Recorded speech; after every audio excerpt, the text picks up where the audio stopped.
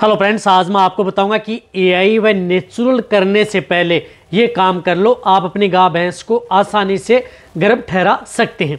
बहुत इस तरह के कमेंट्स भी आते हैं, पशुपालकों में इस तरह की दिक्कत भी होती है।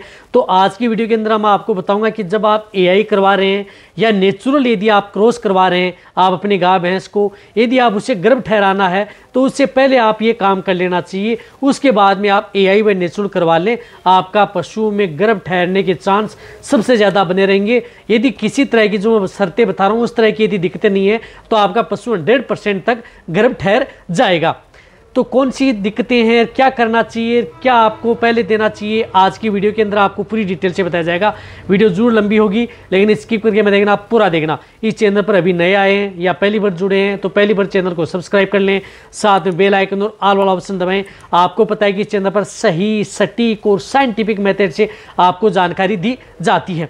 देखो, मैं जो भी आपको बताता हूँ, बहुत इस तरह के कमेंट्स भी आते हैं कि, सर, बहुत इस तरह की मेडिसिन होती हैं। लेकिन मैं ये बता रहा हूँ कि आप पूरी वीडियो देखा करें। यदि आपके पशु में उस तरह के सिम्टम्स हैं, इस तरह की दिक्कतें हैं तो आप उन तरह की दवा पाउडर का उपयोग करके आप अपने पशु को आसानी से गर्भ ठहरा सकते हैं।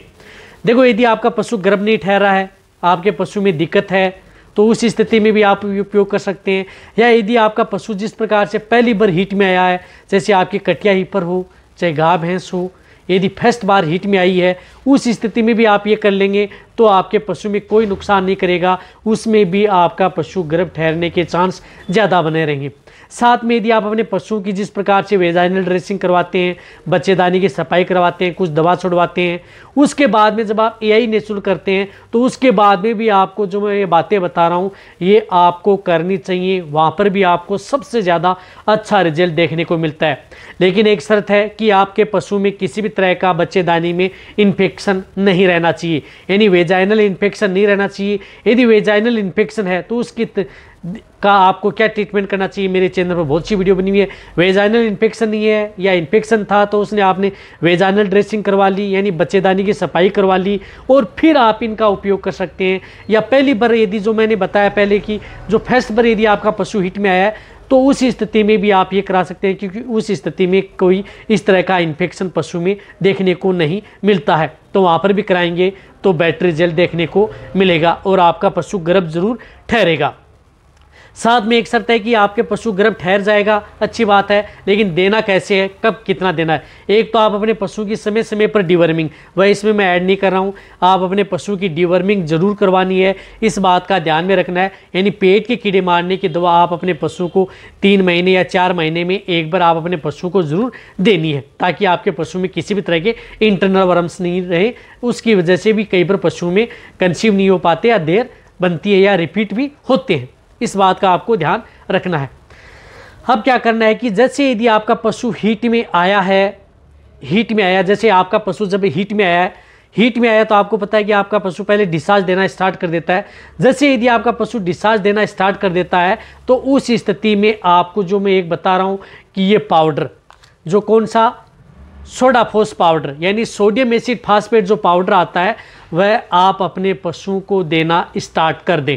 जैसे यदि आपका पशु हिट में आया, बोलना स्टार्ट कर दिया या बालवा दे रहा है डिस्चार्ज दिया है तो उस स्थिति में आप 50 ग्राम ये पाउडर उस पशु को आप खिला दें। यानी 50 ग्राम पाउडर उसी दिन से खिलाना स्टार्ट कर दें और लगातार आप जिस तरह से दूसरे दिन या तीसरे दिन जब एआई कराते हैं, उसके बाद में भी आप लगातार चार दिन या पाँच दिन कंटिन्यूटी वैसे ये पाउडर तीन दिन यदि आप पहले और आप अपने पशु में यही नेचुरल कराने के तीन दिन बाद, यानी छः दिन तक कंटिन्यूटी आप अपने पशु को 50-50 ग्राम ये पाउडर पशु को खिलाना है। इस बात का ध्यान में रखना है।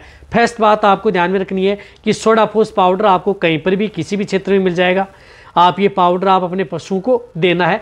जैसे यदि डिस्चार्ज दिया, उसी दिन से स्टार्ट कर दें और बाद में भी आप एआई करवा लेते हैं या नेचुरल करवा लेते हैं, उसके बाद में भी आपको लगातार तीन दिन अपने पशुओं को ये पाउडर जो भी बांट या दाना मिश्रण दे रहे हैं, उसमें मिला करके देना है। बहुत अच्छा है। यह आपके पशु की कंसेप्शन रेट बढ़ाता है अच्छा रिज़ल्ट आपके पशु में देखने को मिलता है। कई इस तरह के एरिया हैं, वहाँ पर जो डेजर्ट एरिया है, कई इस तरह के एरिया हैं, वहाँ पर पशु में फास्फोर्स की डिफिशेंसी होती है।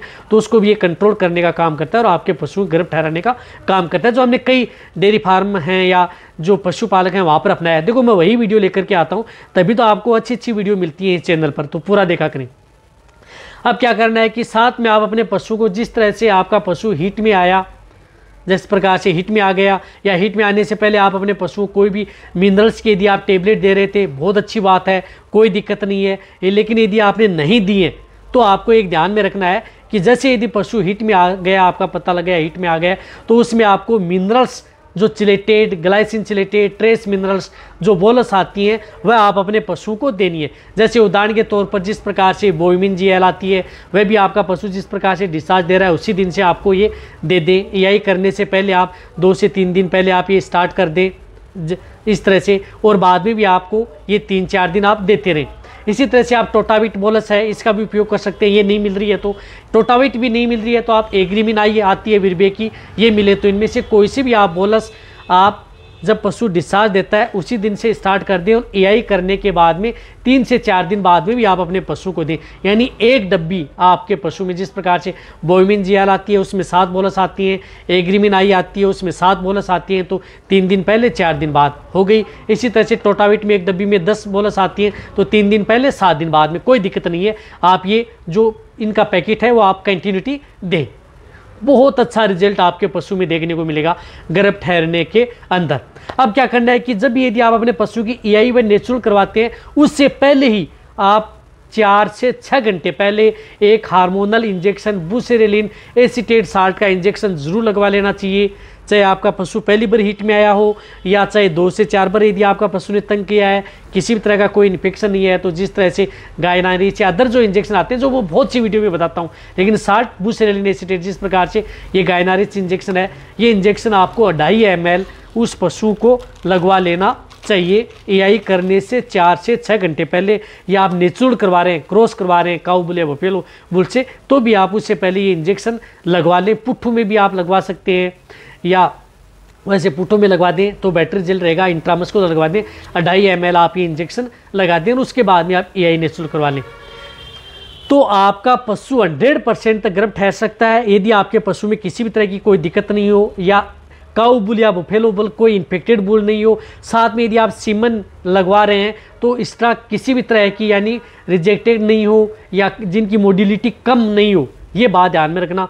तो आपका पशु गर्भ ज़रूर ठहर जाएगा। जो हमने बहुत इस तरह की जो जो ये बातें मैं बता रहा हूँ, ये आपको प्रैक्टिकली बातें हैं, जो मैं आपके लिए लेकर के आता हूँ। तभी आपको लगता होगा कि किस किस तरह की अलग अलग तरह की वीडियो लेकर के आता हूँ। तो उसी के अनुरूप यदि आप इनमें प्रैक्टिकल करके आप अपने पशु में देखेंगे तो ये नुकसान किसी तरह का नहीं करेंगे। बट आपके पशुओं में गर्भ ठहराने में सबसे मददगार साबित होंगे। तो ई व नेचुरल कराने से पहले आप ये, आप अपने पशुओं को दे दें। आप अपने पशु को गर्भ ठहरा लें। लेकिन शरत इन्फेक्शन नहीं रहना चाहिए। वेजाइनल ड्रेसिंग करवा ली है तो उसके बाद में या फेस्ट जो मैंने आपके बताई है, उसी के अनुरूप आप इनका उपयोग कर सकते हैं। तो ये वीडियो जितना हो सकता है आप शेयर कर दें, पशुपालकों के साथ लाइक करें, आपके एक लाइक से मेरे को मोटिवेशन मिलता है मैं आपको इस चैनल पर बहुत अच्छी अच्छी वीडियो लेकर के आता हूँ। इसी तरह से वीडियो देखते रहें थैंक्स धन्यवाद।